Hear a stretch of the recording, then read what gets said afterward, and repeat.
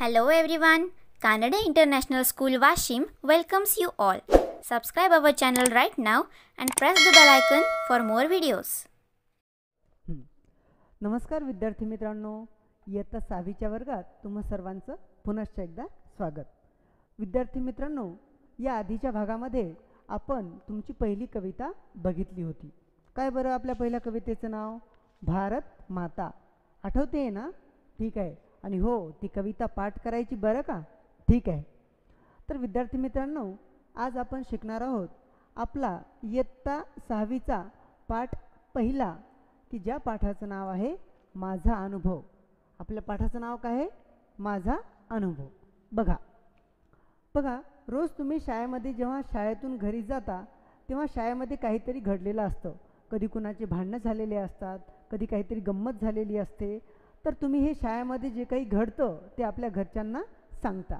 आता शाळेमध्ये घडलेली गोष्ट घरच्यांना सांगता म्हणजे काय करता? तुम्ही शाळेमध्ये तुम्हाला आलेला अनुभव तुम्ही घरच्यांना सांगत असता. या पाठामध्ये देखील असाच एक मुलगा आहे जो तुमच्यासारखाच आहे. आणि त्या मुलानं त्याच्या बाबतीत घडलेली एक घटना आपल्याला सांगितलेली आहे. बघू तर तो मुलगा आपल्याला काय सांगत आहेत बघा. तो मुलगा म्हणतो वार्षिक परीक्षा संपली. मी आणि रीमा घरी आलो. की काय होतं? की त्यांची जी वार्षिक परीक्षा असते जी आपल्या वर्षाच्या शेवटी होते की नाही तर ती परीक्षा संपली. आणि रीमा तो मुलगा आणि रीमा घरी आले. चल. चला तर बघू. तो मुलगा म्हणतो की मी आणि रीमा घरी आलो. आता तुम्ही म्हणाल रीमा कोण? तर त्या मुलाची बहीण. घरी पोहोचतात आईने सांगितले आई काय म्हणते? उद्या आपल्याला आगगाडीने मामाच्या गावाला जायचे आहे. बघा आई काय म्हणते? आपल्याला मामाच्या गावाला जायचं आहे पण कशाच्या साह्यानं? आगगाडीच्या आता आगगाडी म्हणजे काय? तर ट्रेन. आता बघा आमच्या लहानपणी त्या आगगाडीवर एक गीत होतं ते मी पुढं तुम्हाला सांगणारच आहे. बघा तर मामाच्या गावाला जायचे आहे. धीमाने आनंदाने उड्या मारल्या.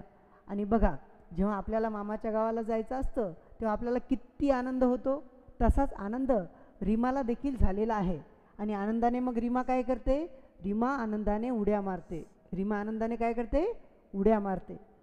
पायातले पैंजण छुमछुम वाजवत ती घरभर फिरली. आणि ही जी रीमा आहे तिच्या पायातली जी पैंजणं आहेत ती छुमछुम वाजवत घरभर फिरते. बघा पैंजणांचा आवाज कसा येतो? छुमछुम. हे विसराय विस विसरायचं नाही बरं का? पैंजणांचा आवाज कसा येतो? छुमछुम. या ठिकाणी आपल्याला सांगितलेलं आहे. आता पुढे बघू. बघा मामाच्या गावाला जाण्यासाठी आम्ही सकाळीच निघालो. मामाच्या गावाला जायला हे कधी निघाले? सकाळीच. बघा तुम्ही देखील मामाच्या गावाला जायला किती गडबड करता? लवक सकाळी लवकर उठता आणि लवकरात लवकर मामाच्या गावाला निघता. तसं हे देखील सकाळीच मामाच्या गावाला निघाले. पुढे तो म्हणतो आम्ही आगगाडीत बसलो. आगगाडी झुकझुक करत चालली होती. बघा आगगाडी कशी चालली होती? झुकझुक करत. आगगाडी म्हणजे ट्रेन. तर बघा ट्रेनचा आवाज कसा येतो? झुकझुक. म्हणून या ठिकाणी तो म्हणतो आगगाडी झुकझुक करत चालली होती. बघा आमच्या लहानपणी गीत होतं ह्या आगगाडीच्या झुकझुक वाजण्यावरूनच ते सुरू व्हायचं. मी त्याच्या दोन वळी तुम्हाला म्हणून दाखवतो. बघा ते गीत असं होतं. झुक झुक झुक झुक आगीन गाडी धुरांच्या रेषा हवेत काडी पळती झाडे पाहूया मामाच्या गावाला जाऊया पळती झाडे पाहूया मामाच्या गावाला जाऊया असो. तर आगगाडी कशी करत चालते? झुकझुक करत चालते. पुढे बघा खिडकीत बसलेल्या रीमाचे केस भुरभुर उडत होते. आता ही जी रीमा आहे त्या मुलाची बहीण तिचे केस कसे उडत होते? भुरभुर. खिडकीतून येणाऱ्या उन्हामुळे तिचे डोळे लुकलुकत होते. रीमाचे डोळे काय करत होते? लुकलुकत होते. आता लुकलुकणे हा एक वाक्यप्रचार आहे. त्याचा अर्थ डोळे मिचमिच होणे असा देखील होतो. डोळे मिच मिच होणे. हो की नाही? ठीक आहे. तर लुकलुकणे म्हणजे डोळे मिचमिच करणे. तर त्या उन्हामुळं ती काय करत होती रिमा? तिचे डोळे मिचमिच करत होते किंवा लुकलुकत होते. तिचा चेहरा प्रसन्न दिसत होता. बघा आता कशामुळे रिमाचा चेहरा प्रसन्न दिसत होता? तर ती अत्यंत आनंदित होती मामाच्या गावाला जाण्यासाठी. म्हणून आई वाचत असलेल्या पुस्तकाची पाने हवेने फडफडत होती. बघा त्या मुलानं किती बारीक बारीक गोष्टीचं वर्णन केलेलं आहे. की केस भुरभुर करत होते डोळे लुकलुकत होते पुस्तकाची पाने हवेने फडफडत होती.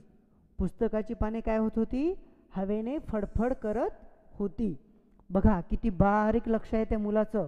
प्रत्येक गोष्ट किती सूक्ष्मपणाने त्यानं आपल्याला सांगितलेली आहे. पुढे बघू आता. ती वाचनामध्ये तल्लीन झाली होती. ती म्हणजे कोण? तर आई. मी खिडकीतून बाहेर पाहू लागलो. थंडगार वाऱ्याच्या झुळका अंगावर झेलू लागलो. बघा की झुळूक म्हणजे काय? झुळूक म्हणजे थंडगार वारा. जेव्हा आपल्याला थंडगार वारा लागतो की नाही तेव्हा आपण त्याला म्हणतो झुळूक. मग हा मुलगा काय सांगतो? थंडगार वाऱ्याच्या झुळका अंगावर झेलू लागलो. बघा आपल्याला देखील थंडगार वारा आवडतो की नाही? मग त्या थंड वाऱ्याला म्हणतात झुळूक. झुळूक कशाला म्हणतात? थंड वारा. ठीक आहे. आता पुढे बघू. तेवढ्यात माझे लक्ष शेजारी बसलेल्या मावशींकडे गेले. आता या मुलाचं लक्ष कुणाकडे गेलं? तिच्या शेजारी एक मावशी बसली होती तिच्याकडं. त्यांच्या मांडीवर बसलेले छोटेसे बाळ माझ्याकडे पाहून खुदकन हसले. बघा किती सुंदर वर्णन केलेलं आहे या मुलानं प्रत्येक गोष्टीचं की शेजारच्या मावशीपाशी एक जे बाळ होतं ते याच्याकडं बघतं आणि बघितल्या बघितल्या ते कसं हसतं? खुदकन हसतं. कसं हसतं? खुदकन. तुम्ही देखील कधी बघू शकता एखाद्या लहान बाळाकडे बघा आणि तुम्ही त्याच्याकडं चांगल्या नजरेनं बघितलं की ते देखील खुदकन हसतं. कसं हसतं? खुदकन.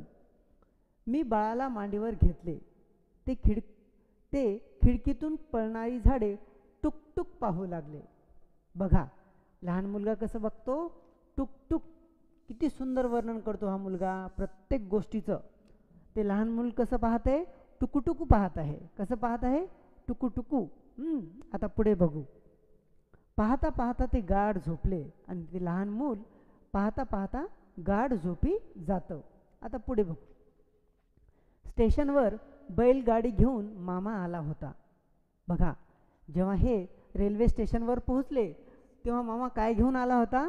बैलगाडी. बघा आपल्या गावाकडं जर तुमचे मामा असतील तर त्यांच्या शेती देखील बैलगाडी असते. आणि ती बैलगाडी ह्या मुलाच्या मामाकडं देखील आहे. आणि मामा स्टेशनवर काय घेऊन आला होता? तर मामा स्टेशनवर बैलगाडी घेऊन आला होता. आता पुढे बघू. रीमाने पळत पळत मामाला गाठले. आणि ही जी रीमा आहे छोटीशी ती पळत पळत मामाकडे जाते आणि मामाला गाठते. आम्ही बैलगाडीत बसलो. बैलांच्या गळ्यातील घुंगुरमाळा खुळखुळ वाजत होत्या. बघा जेव्हा हे बैलगाडीमध्ये बसतात तेव्हा त्या बैलांच्या गळ्यामध्ये काय आहेत? घुंगरमाळा. आता घुंगरमाळा म्हणजे काय? तर छोटी छोटं घुंगरं असतात बघा ज्याला आपण घंटी म्हणतो की नाही अशा घंट्यासारख्या छोट्या छोट्या घुं अनेक घंट्या त्या एकाच दोरीमध्ये गुंफलेल्या असतात. त्याला म्हणतात घुंगर माळा आणि त्या घुंगर माळांचा आवाज कसा येतो? खुळखुळ. घुंगर माळांचा आवाज कसा येतो? खुळखुळ. तर तो म्हणतो घुंगरमाळा खुळखुळ वाजत होत्या. बैलगाडीच्या चाकाचा आवाज खडखड तालात येत होता. बघा आणि मग हे कशानं प्रवास करत आहेत नंतर? बैलगाडीनं. आणि बैलगाडींची चाकं कशी आवाज करत आहेत? तर खडखड. बैलगाडीची चाकं कशी वाजत आहेत? खडखड. खडखड आवाज तालात येत होता. आम्ही घराच्या रस्त्याला लागलो. तोवर सायंकाळची वेळ झाली होती. बघा हे सकाळीच निघाले होते. कारण यांच्या मामाचं गाव दूर असेल म्हणून नंतर ते रेल्वेनं प्रवास करतात. आणि रेल्वेनं प्रवास केल्याच्यानंतर पुढे रेल्वे स्टेशनवर त्यांचे मामा बैलगाडी घेऊन येतात. परंतु मामाच्या गावाला जाईपर्यंत सायंकाळ झाली होती. काय झाली होती? सायंकाळ. म्हणजे संध्याकाळची वेळ झाली होती. बघा आता पुढे अजून खूप सुंदर वर्णन केलेलं आहे. काय म्हणतो तो मुलगा? पानांची सळसळ. काय म्हणतो? पानांची सळसळ. बघा पानांचा आवाज कसा येतो? सळसळ. नदीच्या पाण्याची खळखळ. नदीच्या पाण्याची खळखळ. पाण्याचा आवाज कसा येतो? खळखळ. नदीच्या पाण्याची खळखळ ऐकू येऊ लागली. झाडीतील पक्ष्यांची किलबिल. बघा आणि रस्त्याने त्यांना जे काही झाडी लागली होती त्या झाडीमध्ये पक्षी किलबिल करत होते. पक्षी काय करत होते? किलबिल. शेतात चरणाऱ्या गायीचे हंबरणे. बघा शेतामध्ये ज्या काही गायी चरत होत्या त्या हंबरत होत्या. हंबरणे म्हणजे काय? गायीचा जो आवाज असतो की नाही त्याला म्हणतात हंबरणे. गायीच्या आवाजाला काय म्हणतात? हंबरणे. बकऱ्यांचे बेबे हे सारे वातावरणात मिसळून गेले होते. आणि बकऱ्यांचं बेबे करणं ह्या सगळ्या गोष्टी वातावरणामध्ये मिसळून गेल्या होत्या. बघा किती सुंदर वर्णन केलेलं आहे. प्रत्येक गोष्टीचं वर्णन केलेलं आहे की पानं कशी सळसळ करत होती पाणी कसं खळखळ ऐकू येत होतं पक्ष्यांचा आवाज कसा किलबिल येत होता गाई कशा हमरत होत्या बकऱ्या कशा बेबे करत होत्या ह्या साऱ्या गोष्टी त्या वातावरणामध्ये मिसळून गेल्या होत्या. असं वर्णन तो मुलगा या ठिकाणी करतो. आता पुढे बघू. शेतातली पिके वाऱ्यावर मंद मंद डुलत होती. मन आनंदाने थुई थुई नाचत होते. बघा तो मुलगा काय म्हणतो? शेतातली जी पिकं आहेत ती वाऱ्याने कशी डुलत होती? मंद मंद डुलत होती. पिकं कशी डुलतात? मंद मंद. आणि मन आनंदाने थुई थुई नाचत होते. त्या मुलाचं मन आनंदानं कसं नाचत होतं? Thuy Thuy. या ठिकाणी अनेक वाक्प्रचार या ठिकाणी वापरलेले आहेत. नंतर आपण ते समजून घेणारच आहोत. थुई थुई नाचणे म्हणजे काय? तर आनंदित होणे. थुई थुई नाचणे म्हणजे आनंदित होणे. हो की नाही? आनंदित होणे. बघा पुढे बघू. बघा आता घरी आल्याच्यानंतर काय होतं ते बघू हां. घरी येताच तोंडभर हसून मामीने आमचे स्वागत केले. बघा जेव्हा तो मुलगा त्याच्या मामाच्या घरी गेला तेव्हा मामीने काय केलं? त्यांचं स्वागत केलं. कोणं स्वागत केलं? मामीने. हां विसरायचं नाही हां. मामीने त्यांचं स्वागत केलं. मामाची मुले राजू आणि चिमी आमचीच वाट पाहत होती. बघा तुमच्या देखील मामाची मुलं असतात की नाही? आणि जेव्हा तुम्ही दिवाळीला त्यांच्याकडे जाता तेव्हा किती आनंद होतो तुम्हाला? तसंच त्यांना देखील आनंद होतो. तर यांची देखील मामाची मुलं आहेत. त्यांचं नाव काय आहे? मुलाचं नाव आहे राजू. मुलाचं नाव काय आहे? राजू. आणि मामाच्या मुलीचं नाव चिमी तर हे दोघंही यांचीच वाट पाहत होते. आम्ही एकमेकांना कडाडून भेटलो. आम्ही एकमेकांना कडकडून भेटलो. आजी हळूहळू चालत काठी टेकवत टेकवत आमच्याजवळ आली. बघा आजी कशी आली? हळूहळू. त्याचप्रमाणे ती काठी टेकवत टेकवत यांच्याजवळ आली. आम्ही आजीला बिलगलो. आता बिलगणे म्हणजे काय? तर कवटाळणे किंवा त्याला चिटकणे आपण म्हणू शकतो. तर हे दोघंही आजीला जाऊन बिलगतात म्हणजे जाऊन चिटकतात. तिने आम्हाला जवळ घेतले कुण आजीनं. आमच्या डोक्यावरून तोंडावरून हात फिरवला. बघा तुमची देखील आजी तुमच्या डोक्यावरून तोंडावरून हात फिरवून तुमचा पापा घेते की नाही? तसंच यांच्या आजीनं देखील त्यांच्या तोंडावरून हात फिरवला. तिच्या हाताचा थरथरणारा स्पर्श खूप प्रेमळ आणि बोलका होता. बघा हा किती हुशार मुलगा आहे किती सुंदर वर्णन केले बघा त्यानं. काय म्हणतो की आजीचा जो हात आहे तो कसा करत होता? थरथर कापत होता. परंतु तो थरथरणारा जो स्पर्श आहे तो खूप प्रेमळ होता किंवा बोलका होता. म्हणजे आजीनं आमच्या तोंडावरून हात फिरवताना तिचा हात थरथर कापत होता परंतु त्या थरथर कापण्यामध्ये एक प्रकारचं प्रेम होतं. आम्हाला खूप गहीवरून आले. बघा आता गहीवरून येणे म्हणजे काय?